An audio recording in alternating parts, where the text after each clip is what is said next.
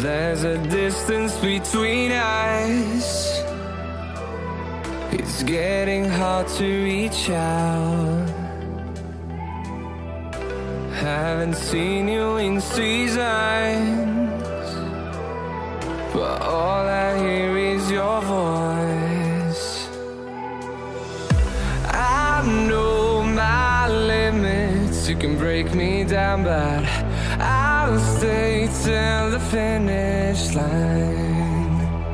And I've been counting minutes for quite some time now, just to see you again. And I've been counting days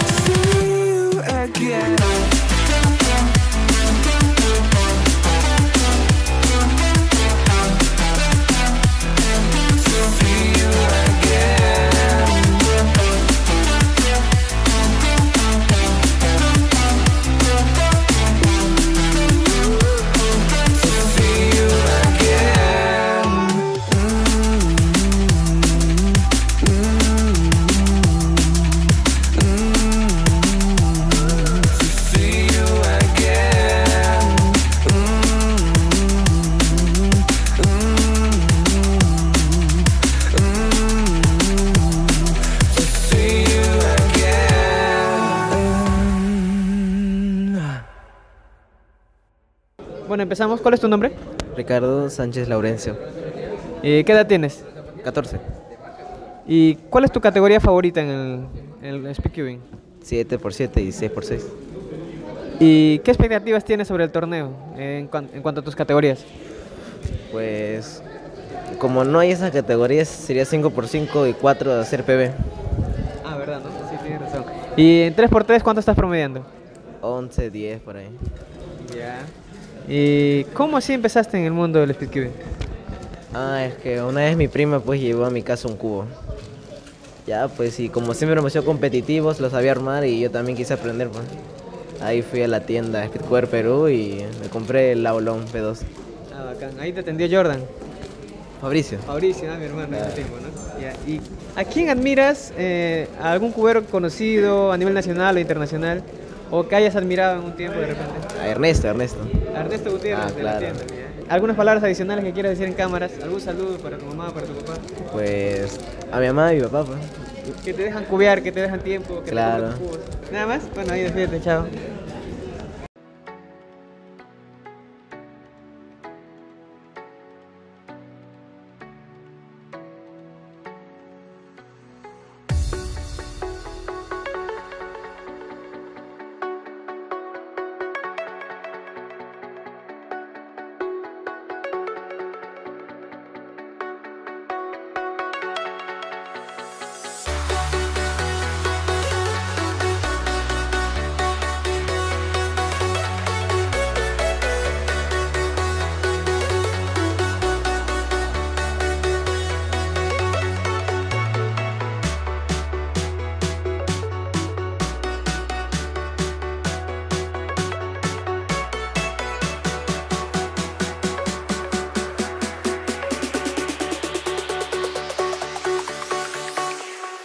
Jack it up.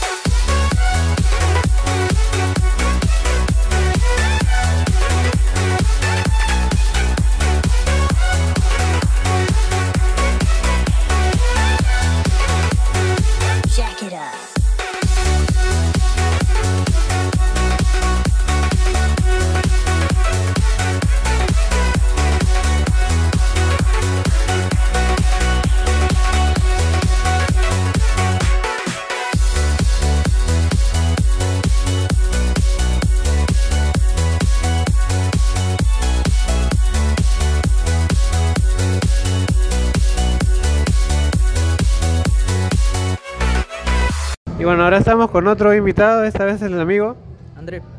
André. Mucho gusto, André. ¿Este es tu primer torneo, me has dicho?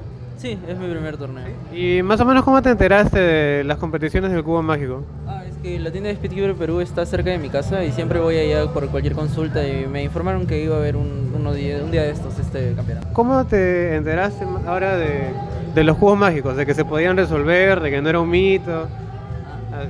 Ah, bueno, este, vi un video de Félix Endex, que creo que es el video en el que vence a Mats Volk, y es, este, me llamó mucho la atención en la velocidad que lo hacía. Y bueno, creo que ese video me, me introdujo a Te este. motivaste, te motivaste. El poder de Félix, chicos. Sigue presente. ¿Y ya cuánto tiempo llevas cubiando y cuáles son tus récords? Ah, llevo más o menos eh, ocho meses en, en, los en el torneo. Fue el año pasado que este, hicieron eh, una- un récord Guinness, este, Gianfranco Wanki con los mil Sí. cubos.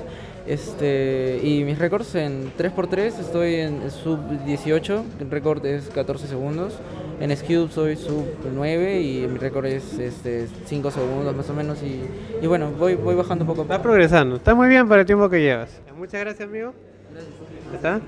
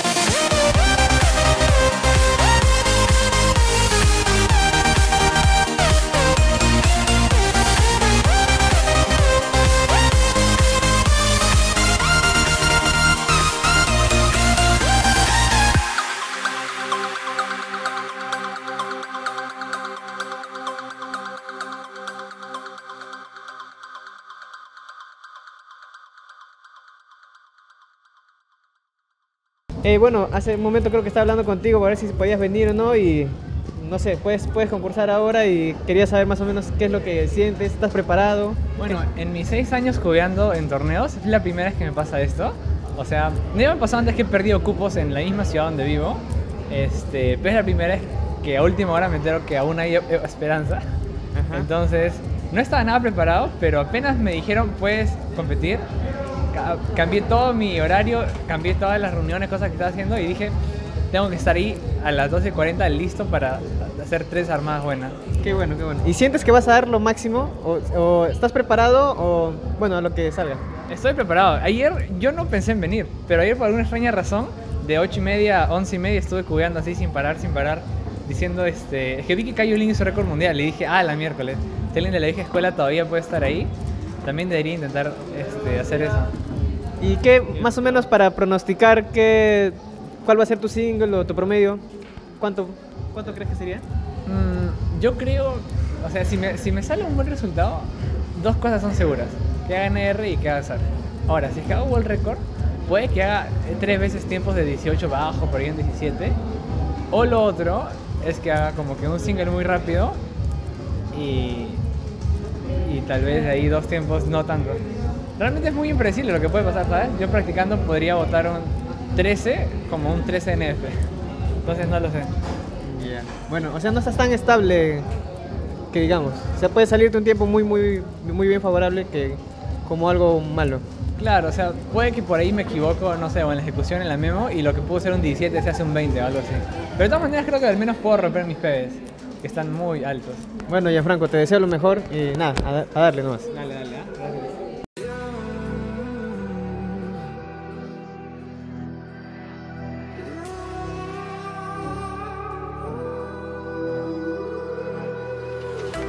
There's a distance between us.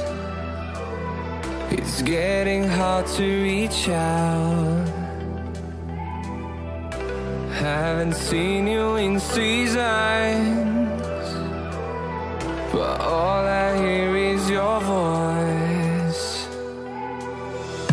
I know my limits. You can break me down, but I'll stay till the finish line.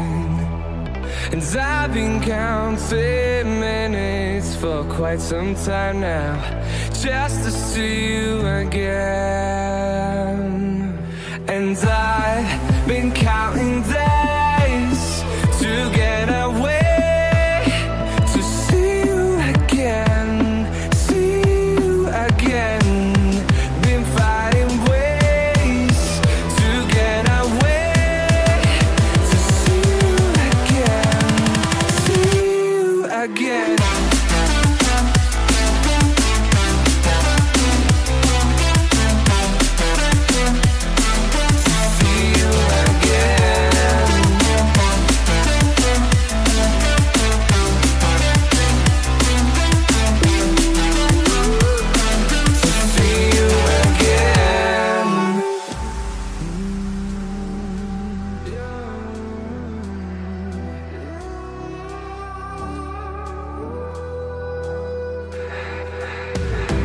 We got millions of reasons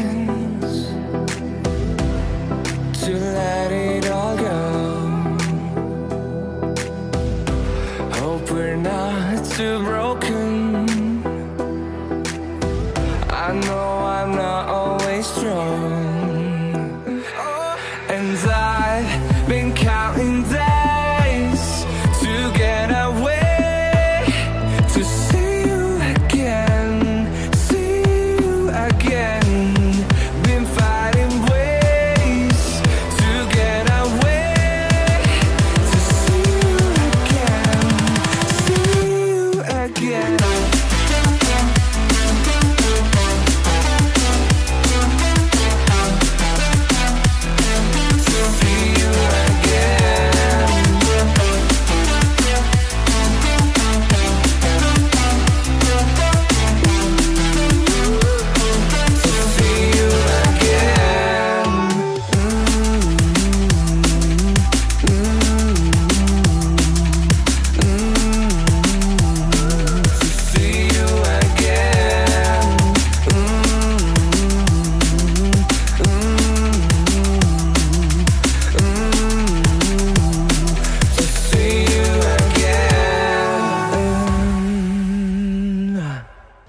Preguntarle este, qué se siente organizar un torneo y cómo logró convertirse en delegado en nuestro país, donde son tan necesarios, porque la verdad hay muchísimos speedkeepers y cada vez son necesarios más torneos.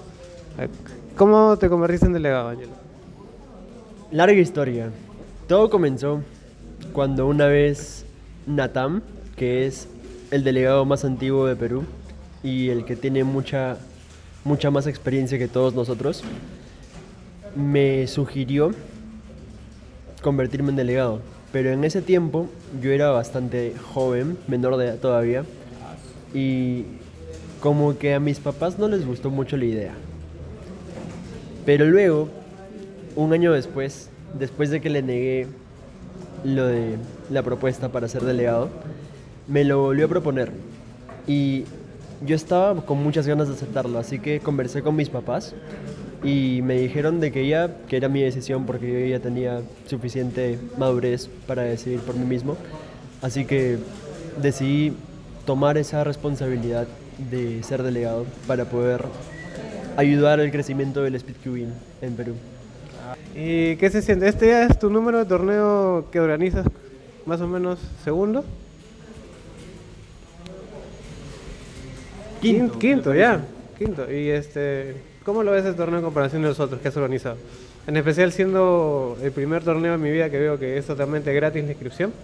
¿Cómo, cómo se logró? ¿Sabes algo también? Sí. Bueno, yo no lo organizo primeramente, yo lo delego. Los organizadores son Cristian y Roberto Ocmim. Cristian Montoya y Roberto Ocmim son excelentes organizadores, han puesto mucho empeño para el desarrollo del torneo y han proporcionado todo lo necesario. Y es gratis principalmente porque el Palacio de la Juventud, que es quien nos brinda el espacio para este torneo, no quiso. Al comienzo, bueno, fue todo un chongo y todo, todo una, todo un drama, pero al final el punto es que nos dijeron que solo nos iban a dar el espacio si el torneo era gratuito. Así que aceptamos. negar. Exactamente. Aceptamos y claro que hay gastos que los organizadores tienen que cubrir y que normalmente se, re- se cubrirían con lo recaudado de las inscripciones. Esta vez, como es gratis, los organizadores están cubriendo esos gastos, como el almuerzo para el staff, los solapines, entre otras cosas. Credencial, credencial. Credencial.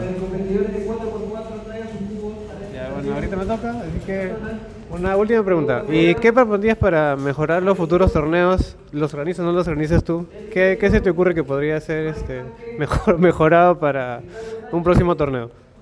Mm, Bueno, últimamente el equipo de organizadores ha estado bastante empeñoso. Por ejemplo, Cristian y Roberto, junto con el nuevo delegado que es Anthony Tello. Para este torneo, algo que me parece excelente es que han programado el horario de cada uno de los competidores para saber, me, me refiero a los competidores del staff, para saber en cada ronda qué tarea específica les toca hacer a cada uno. Ah, qué interesante. Sí. Entonces cada staff ya tiene su horario predeterminado antes de Exactamente. Eso es algo que una vez lo hizo Natam en uno de los torneos, me parece en Nacional, o en un Nacional, no me acuerdo en cuál, o quizás en el Natam, no estoy seguro, pero en uno de los torneos lo hizo y funcionó bastante bien. Y ahora que lo están vol- volviendo a hacer Cristian, Roberto y Anthony, me parece que está funcionando. ¿Tú crees que se debería implementar en todos los torneos la organización de, de los staff desde antes del mismo torneo? Quizás no en todos, pero Los que tengan en los que un gran número de personas. Competidores, quizás Claro. sí. Ya. Sería bueno. Bueno, muchas gracias. Chicos, este ha sido Ángelo, nuestro delegado de este torneo. Espero que les haya gustado. Y este un saludo. Suerte si llegas a competir. Gracias.